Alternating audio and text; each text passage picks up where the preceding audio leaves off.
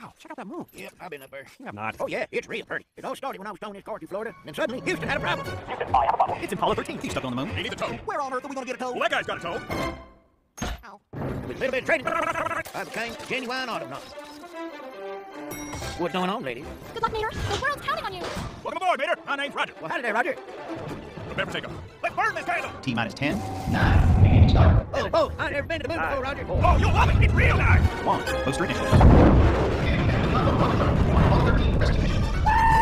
I love my job. We have cleared the tower. It's all up to Mater now.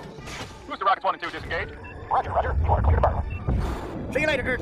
You are on approach to the moon. Prepare for the moon landing. Open cargo bay doors. Roger. Operation tow Mater is go. Okie dokie. Good luck, Mater. See you back on Earth. Roger, Roger, Roger. Whoa.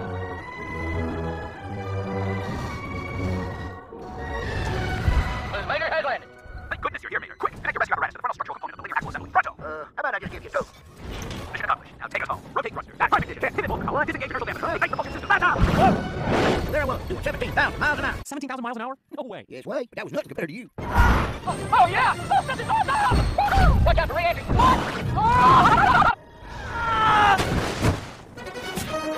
Don't worry, I got you. Yes, sir, Rick. We was a couple of bona fide heroes. So, Mater, when does an astronaut eat? At launch time. Oh, come on. That did not happen. Well, suit yourself. Mater, Houston has another problem. Roger, Roger. Let's burn this candle. Oh,